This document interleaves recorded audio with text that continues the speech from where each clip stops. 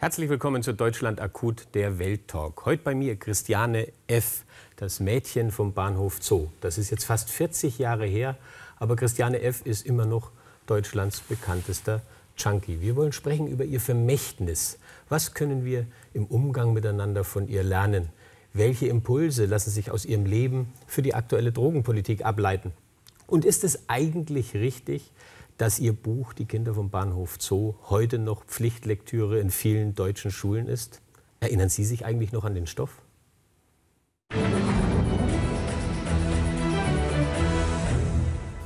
Der Bahnhof Zoo in Berlin. Bis Ende der 80er Jahre Brennpunkt der Fixer-Szene. Erschütternde Heroinschicksale. Auch das von Christiane F. Seit ihrem Buch Wir Kinder vom Bahnhof Zoo kennt sie ganz Deutschland. Junkie mit Promi-Status. Mit 13 gerät sie auf die schiefe Bahn. Und selbst 38 Jahre danach zerstört die Sucht ihr Leben. Warum gibt es für so viele Menschen keinen Weg aus der Abhängigkeit? Und kann die Lebensgeschichte von Christiane F. die Jugend warnen?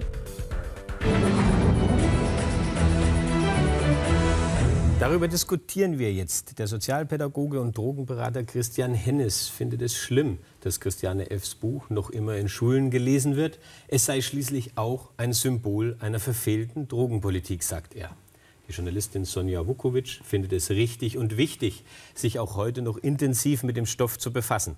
Deshalb hat sie das Buch Christiane F. Mein zweites Leben mitgeschrieben und dabei ein ganz neues Bild des einstigen Junkie-Stars gezeichnet. Und ganz herzlich willkommen auch nochmal Christiane F., die sagt, lieber erzähle ich doch meine eigene Geschichte, als weiter mit ansehen zu müssen, wie sich die Leute was ausdenken. Na, dann also los. Christiane äh, F. Ist eigentlich komisch, dass man immer sagt, Christiane F. Fühlen Sie, das, ich habe mal mit Cleansmann geredet, der fand es ganz unmöglich, dass er immer Clean Sie ist. Wie würden Sie gern angesprochen werden wollen? Ähm, natürlich mit meinem ganzen Namen. Oder nur mit Christiane? Ja, auch gut. Wir einigen uns ja, auf Christiane. Ja, ganz genau. Also, das finde ich klasse, weil ich fand auch schon in der Vorwärts, äh, Christiane F. ist irgendwie seltsam, das macht man nie. Das, äh Aber es war ja am Anfang so, dass ich wirklich nicht bekannt werden sollte, wegen... Und jetzt ist äh, ausgerechnet das der Markenname. Irgendwie komisch. Ja, ne? richtig, irgendwie weil das hat ja niemand gewusst. Also die, die äh, Manuskripte sind abgelehnt worden von den großen Verlagen. Das ist ein Randthema. Das interessiert niemanden und man hat mich versucht zu schützen weshalb ich auch äh, bei den Präsentationen des Buches und der weiteren Vermarktung, da war ich überhaupt nicht dabei. Jetzt äh, ist es ja so, dass ganz, ganz viele Millionen Menschen an ihrem Schicksal Anteil genommen haben, das fast äh, miterlebt haben, gelesen haben, darüber diskutiert haben. Ähm, und deshalb kann man eigentlich sagen, Sie haben viel äh, Schlimmes erlebt, viel durchgemacht. Sind Sie heute glücklich? Nee, ich bin nicht wirklich glücklich mit der ganzen Sache. Ich wollte auch kurz sagen, ähm, dass ich äh, zwischen diesen beiden Menschen sitze. Also Sonja hat mich ganz lange überreden müssen, denn ich sehe das auch als eine verfehlte Drogenpolitik und es gibt überhaupt nichts zu reorisieren an mir. Es hat sehr lange gedauert, bis äh, Sonja gesagt hat, wir müssen irgendwas machen und die Einsicht hm, ist da, aber ich war doch auch lange der Meinung, das können wir gar nicht mehr. Ich habe das nicht erfüllt. Mhm. Äh, ich bin nicht äh, clean geblieben. Ich verstehe, da kommen wir, kommen wir noch drauf auf die einzelnen Punkte. Aber ich will noch mal auf diese ja, eigentlich ganz einfache Frage glücklich. Was fehlt Ihnen zum Glücklichsein? Puh, dazu äh, würde ein bisschen mehr äh, No-Known, also dass ich nicht so bekannt bin. Da würde da auf jeden Fall dazugehören. Gab es einen Moment in Ihrem Leben, wo Sie sagen, da war ich echt glücklich? Oh ja, natürlich, sonst würde ich gar nicht mehr. An welchen erinnern Sie sich? Ach Gott, die, äh, vor allem meine vielen Reisen, die ich nicht missen möchte. Ich brauch, muss das auch nicht mit einem Fotoapparat alles abhandeln. Ich habe das alles intus, das kann mir niemand nehmen. Dazu gehören auf jeden Fall die ganzen Auslandsaufenthalte, um überhaupt mal reflektieren zu können, wo stehe ich, genau, wo bin ich. Und da waren viele äh, glückliche. Wenn Sie sich heute selbst beschreiben müssten, Wer ist die Christiane F. 2013? Mhm. Immer noch eine unstete Frau, die ihren Frieden sucht. Daran hat sich also wenig geändert. Ja, also ich habe ja am Anfang, als ich jung war, nicht unbedingt Frieden gesucht, sondern schon, also als das rauskam, also als die Bravo damals das erste Mal das ist kam. Eine interessante Frage. Was haben Sie eigentlich gesucht? Das habe ich nie verstanden. Ich auch nicht. Ich wusste auch nicht, was die Leute von mir wollen. Also ich habe einfach nur den beiden Journalisten mein Leben erzählt und es gab keine keinen Verlag und ich dachte, dass dieses Buch, ähm, ja, was man sich eben so vorstellt als 14-Jähriger, äh, das wird ein Buch von vielen sein, was in der Bibliothek man sich ausleihen kann. Und, aber an Presse, Medienrummel habe ich Gut, das kam dann ein bisschen anders, Christian Hennig. Ja. Wann haben Sie zum ersten Mal äh, vom Schicksal von Christian F. erfahren? Ich denke mal, als das Buch rauskam, äh, wir sind ja gleicher Jahrgang, und weil ich das äh, Thema Drogen hochinteressant fand als Teenager schon. Was hat das Buch bei Ihnen ausgelöst? Schock, Ekel, Faszination, kann ja alles sein. Nee, weder Schock noch Ekel also und vielleicht auch keine Faszination, sondern es war einfach ein Einblick in eine andere Welt, die ich nicht kannte. Und es war, äh, es war spannend, wie offen eine gleichaltrige ihre problematische Lebensgeschichte erzählt als Sie angefangen haben mit, äh, dass ich dagegen wäre, dass das als Pflichtlektüre abgehandelt wird, da ist ja immer die Frage, mit welcher Zielstellung. Also wenn jetzt irgendein Lehrer denkt, ja, wenn wir das Buch lesen, dann sind die äh, dagegen geimpft, irgendwie äh, sowas zu machen, das ist natürlich ein Quatsch. Äh, aber auf der anderen Seite finde ich das Buch ganz spannend und nach wie vor für junge Leute hochwertvoll zu lesen, äh, weil das ein Schicksal beschreibt, eine Zeit beschreibt, Umstände beschreibt, wo sich teilweise auch gar nicht so viel geändert hat. Äh, ich würde sagen, es hat sich alles geändert. Nee, das finde ich eine kühne These. Also mir kommt es so vor, heute Christiane F. zu lesen ist, als würde man äh, Jungs äh, das Endspiel von 1954 vorführen und sagen, so spielt man Fußball. Nee. Weil äh, wie Drogen sind anders, die Umfelder sind anders. Sie sind der Experte, widerlegen Sie mich. Es gibt ein paar mehr Drogen, aber äh, die Heroinproblematik ist die Heroinproblematik und wer heroinabhängig ist, äh, ist in der gleichen Bredouille, wie Christianes damals war. Äh, die Möglichkeiten haben sich geändert von heute im Vergleich zu den 80er äh, Jahren. Gott sei Dank haben sich die Verhältnisse äh, auch verändert durch den Einsatz von vielen Leuten äh, die wollten, dass auch für Leute, die Drogen nehmen, ein menschenwürdigeres Leben möglich ist und dass denen mehr Möglichkeiten der Hilfe und der Behandlung eröffnet werden, als einfach nur hör auf und äh, nimm das, was dir hier angeboten wird. Äh, das war eben bis Mitte der 80er Jahre so und dann hat sich da deutlich was geändert.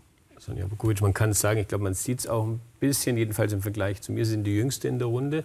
Als sie auf die Welt kam, gab es die Kinder vom Bahnhof Zoo schon längst. Warum hat sie der Stoff später dazugekommen und später reingelesen trotzdem fasziniert?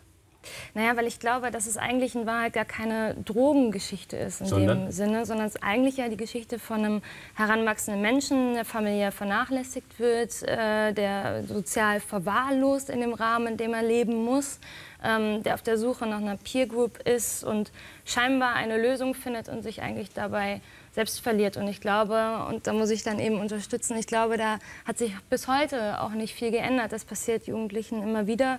Und ähm, es geht gar nicht so sehr eben um die Droge, sondern es geht um eine Sucht, die es wurde auch in einer Ihrer Sendungen schon mal gesagt, die von einer Suche her rührt nach etwas, nach einer Erfüllung.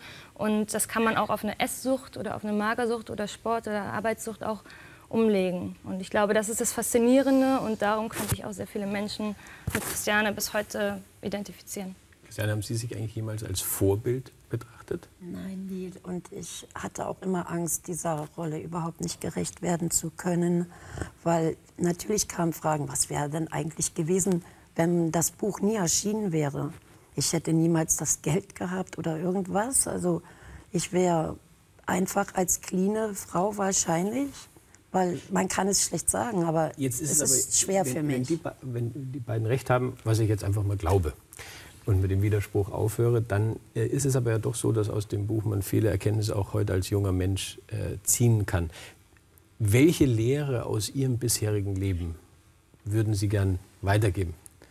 Soll man gern, sollen junge Leute äh, sich aneignen, sich damit befassen?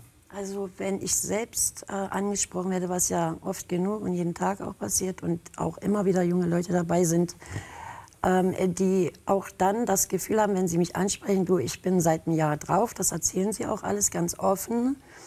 Und ich damit einfach nur noch sehr schwer umgehen kann, weil ich bin 50 und diese Mädchen sind 15 und äh, immer wieder auf das zurückgeworfen zu werden, ist auch schwierig. Deswegen nennen sie mich Christiane und nicht Frau Felcherino, weil ich bin über 50, habe mich aber daran gewöhnt, geduzt zu werden und dass ich gar nicht so richtig aus diesem Dilemma Christiane F. herauskomme. Und dass eben auch die Idee war, mit dem zweiten Buch das mal ein bisschen zu erklären. Wenn, was ich verstehen kann, es schwerfällt, selber eine solche Lehre zu definieren, weil Sie sprechen damit ja immer über einen wichtigen Teil Ihres Lebens. Welche würden Sie äh, sehen als die jetzt enge Vertraute, darf man ja, glaube ich, sagen? In welche Lehre können junge Menschen aus dem Leben und den Erfahrungen von äh, Christiane F. ziehen? Also ich denke, die wichtigste ist auf jeden Fall, dass er ähm, Christiane sehr offen auch tatsächlich über die Folgen auch spricht, äh, die so eine jahrelange Opiatabhängigkeit auch nach sich zieht. Und natürlich ähm, ist es uns auch ein Anliegen gewesen, da auch irgendwie aufmerksam drauf zu machen und für zu sensibilisieren. Das ist auch, das erste Buch hat ja man kann auch, also Christiane würde sagen, leider so ein bisschen einen so einen romantischen Touch. Also viele fanden das halt eben doch sehr faszinierend haben, haben diese Geschichte zwischen Detlef und Christiane interpretiert als eine Hölle, die man wenigstens äh, in Zweisamkeit durchsteht.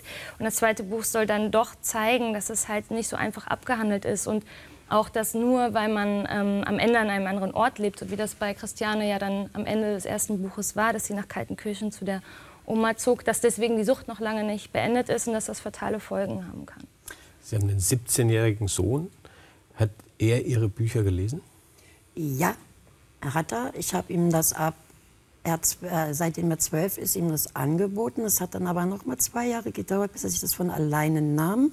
Ich habe dann ab und zu mal nachgesehen, doch, er hat ein Viertel geschafft, aber anders wie andere Jugendliche, die das gleich in einem Rutsch durchlesen, habe ich das bei meinem, ich habe darüber nicht mit ihm gesprochen. Ich dachte, er kommt schon von allein. Aber kann man es, nie? Keine Frage? Nein, Mama, eigentlich nicht, das weil das wird, wird, heute tatsächlich alles äh, sehr gut auch in den Schulen aufgefangen. Zumindest dort, wo mein Sohn geht. Also erst in der Gesamtschule und jetzt auf dem Gymnasium. Muss ich sagen, ist er doch sehr, sehr gut vorbereitet worden. Prävention, es ist was passiert, auf jeden Fall. Damals war man ja so ganz draußen raus. Also ähm, die meisten Sachen waren ihm recht gut bekannt already. Also kannte er von der Schule. Ja. Also Mama konnte, ihm nicht, Mama, nicht. Mama konnte ihm nicht mehr wirklich nein, was Neues nein, äh, mitteilen. Nein, nicht wirklich. Nein, belehr mich nicht. Ich weiß das alles und für Sie ist Christiane F., ja, man ist noch wertvoll, es zu lesen, die Kinder vom Bahnhof oder wir Kinder vom Bahnhof Zoo. Aber Sie haben auch formuliert, es stehe als Symbol für eine falsche Drogenpolitik. Was ist daran falsch?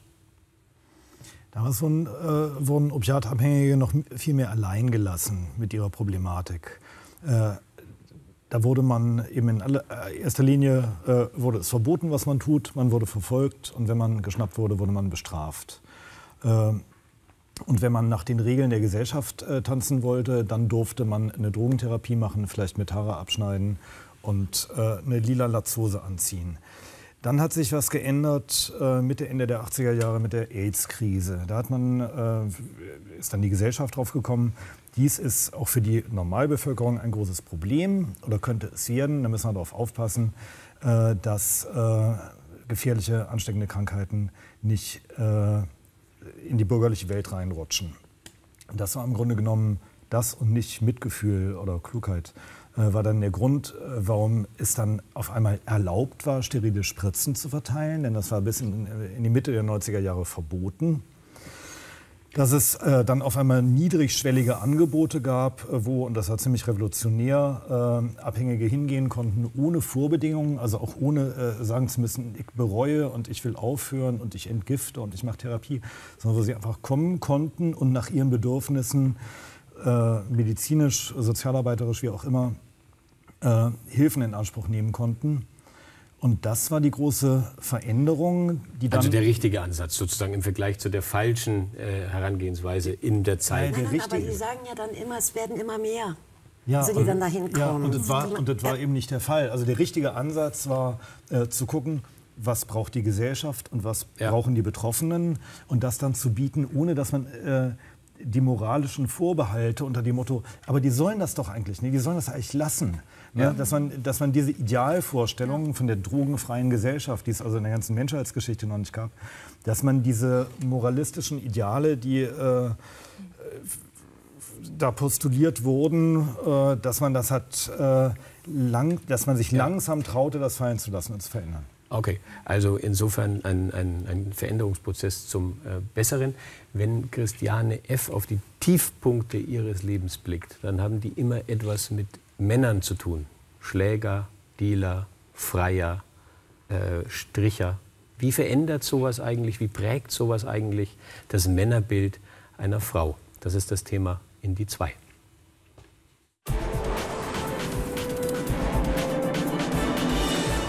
Zwei Minuten mit Christiane F., dem einstigen Mädchen vom Bahnhof Zoo, über Männer. Christiane, waren Sie eher ein Papa- oder ein Mamakind? Eher ein Papakind. Welcher Mann hat Ihnen am meisten wehgetan? Mein Vater. Wodurch? Ja, ähm, ich durfte nicht zur Schule, wenn das Auto repariert werden musste. Die Gewalt, ähm, die Oberherrschaft über meine Mutter, Schläge.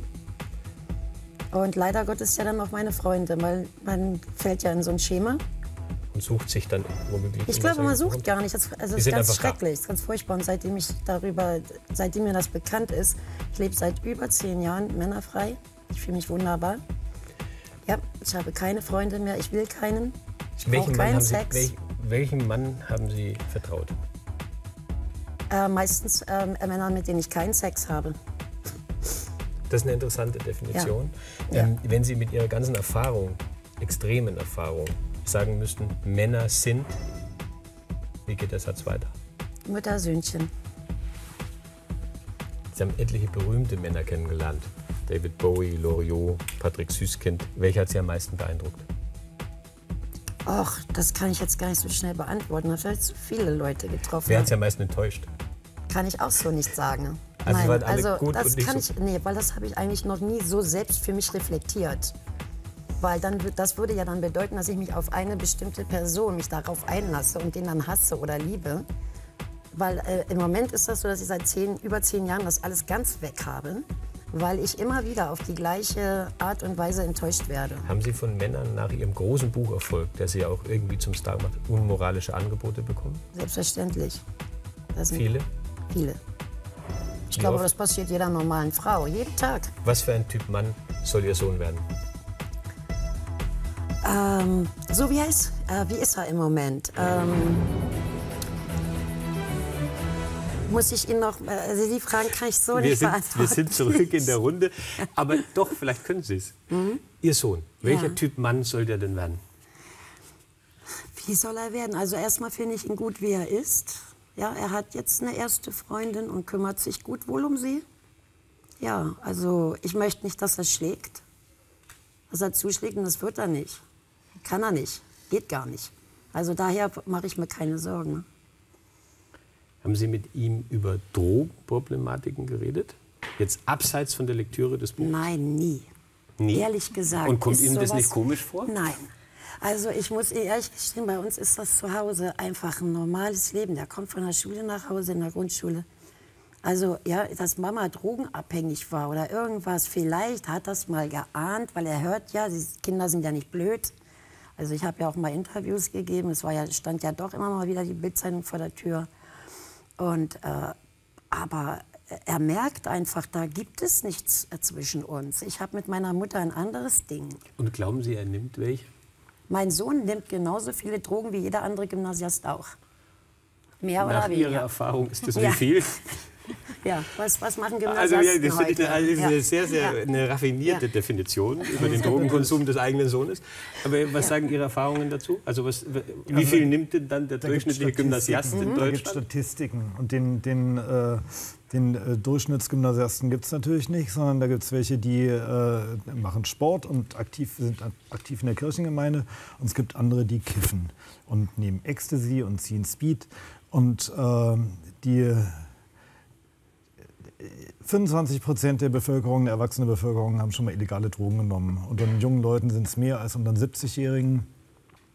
äh, die Zahl der. Und danach nimmt es wieder zu, oder? Die Zahl der Leute im mittleren Alter, ich rede von den illegalen Drogen. Ja. Wenn wir auf die äh, legalen Drogen zu sprechen kommen, gut, wenn wir uns dann klar. die 70-Jährigen angucken, dann sind die alle gut abgefüllt mit äh, Alkohol und Benzodiazepin. Äh, in der, in der Gruppe der über 50-Jährigen äh, werden immer mehr äh, Substanzen genommen, die nach wie vor illegal sind. Äh, Haben Sie selbst auch Drogenerfahrungen? Ich finde, eine Drogenbiografie pro Sendung reicht. Und das ist kein Nein, ne? Also Vorsicht, ne? das ist kein Nein. Das ist kein Nein. Aber ja, ich akzeptiere, also so, ich akzeptiere so, ja, Argument. Ne? Ich akzeptiere Ihr Argument. so wie Lady Gaga. Sie spricht immer in der Vergangenheit. Ja, also, also ja, vor 14 die, Tagen habe ich aufgehört zu kiffen. Gucke, äh, und, die, äh, und, die, und das Kinder, ist eigentlich eine, eine, spannende Frage. Ne? Ja. Äh, weil die äh, gesellschaftliche Situation im Moment ist nicht so, dass man äh, damit hausieren gehen kann. Mhm. Äh, Frau Felcherino, äh, die hat die Erfahrung gemacht, wie das ist, wenn man äh, sich da outet. Und äh, es ist in der heutigen äh, Gesellschaft und je nachdem. Also es ist das am längsten umschriebene Jahr in einer Talkshow? Nee, das ist eine. Da, wissen Sie, dass wir, dass wir richtig dumm gegenüber all den Leuten, die im Gefängnis sitzen, weil sie irgendwann mal gezwungen waren, Ja zu sagen. Äh, es wird verfolgt und verhaftet okay. und eingesperrt ich habe es verstanden. Aufgehängt. Mit einem intensiven ja. Blick auf Sie formuliere ich eine These und bitte um Widerspruch oder Zuspruch. Ich bin also der Einzige in unserer Runde, der keine Drogenerfahrung hat, ja? Ja, Sollen wir das, das jetzt glauben? Weil ich das ist so. Bei mir Moment also ich will Problem, nicht ich, ich, ich muss meine Urinkontrollen abgeben. Ich darf auch keinen Joint rauchen, sonst bekomme ich keine. Wie, wie Sie müssen viel Medikamente nehmen, ne? Nein, ich Oder bekomme keine? nur mein Methadon, äh, okay. äh, 4 Milligramm am Tag und das war's. Aber äh, ich darf kein ähm, Hasch rauchen, äh, kein Marihuana rauchen und das bedeutet für mich, dass ich im Kreis, äh, Kreise der äh, Medienmenschen und überall nach Hause gehen muss abends. Ach, weil dort äh, jeder es wird ja immer schlimmer für mich. Ja? Also in meinem Fall stimmt es wirklich. Ja, dann sagen die Ihnen nicht. Dann sagen die, Herr Strunz, gehen Sie mal nach Hause, wir kiffen uns jetzt hier Ihr Buch hat, ja. äh, wenn ich das an der Stelle sagen darf, Ihr Buch hat da sogar äh, Einfluss darauf. Ich gehöre zu den naiven Kleinstadtkindern, äh, oh Jugendlichen, die das gelesen haben. Und für mich war klar, wenn man mit einem Joint anfängt, drückt man sich irgendwann Heroin in die äh, Adern, was ja wirklich falsch ist und ein naiver Quatsch. Für mich war das so und das wollte ich nicht und habe ich es hab sagen gelassen. Also ich habe wirklich noch nie in meinem ganzen Leben sehr zur Belustigung eines Teiles meines sozialen Umfelds ähm, da keine Erfahrungen äh, damit. Eine Frage habe ich noch, eine, eine allerletzte Frage. Sind Sie eigentlich reich im wirtschaftlichen Sinne? Also äh, ich möchte mal so sagen, ähm, weil ich bin ja schon rumgekommen. Verglichen mit allen anderen Reichen sind Sie nicht Ich bin auf jeden Fall bin ich reich in dem Sinne, dass ich mir nicht überlegen muss, wenn ich an einer Fleischtheke stehe, ob ich mir heute vielleicht kein ähm, Filet leisten kann. Das gibt es nun nicht. Also ich kann ja doch wenigstens noch einkaufen gehen, ohne zu gucken. Also heute habe ich nur 10 Euro also weil die meisten meiner Freunde müssen alle so rechnen. Ich bin eigentlich die Einzige, die ein bisschen noch über Geld verfügt. Also das heißt, diese Zahl, die man Geld im Raum immer stand, nur, ich habe mein ganzes paar hunderttausend Euro sind habe ich nur für mein persönliches Leben äh, ausgegeben. Ich äh, besitze kein Haus, ich habe kein Auto. Ich, ja, also, überlegen Sie sich mal, alleine das Auto, die, die Versicherung, Absolut, das sparen Sie, kann Sprit, jeder Autofahrer sagen, sparen Sie jede Menge. Das ich im Monat, also oder beziehungsweise fahre ich mal Taxi. Von, von Eliette ja. von Karajan, der Frau des großen äh, Karajan, stammt der schöne Satz: Ich lächle, wenn ich zum Geld Geldautomaten gehe. Ja. Das hat sie mal zu ihrem Reichtum gesagt. Vielleicht ja. gilt es irgendwie auch ja. für Christiane F. Einmal will ich es noch sagen, danke für die Diskussion, danke fürs äh, Zuschauen. Ich freue mich, wenn Sie nächste Woche wieder dabei sind bei Deutschland Akut, der Welttalk, immer mittwochs auf N24.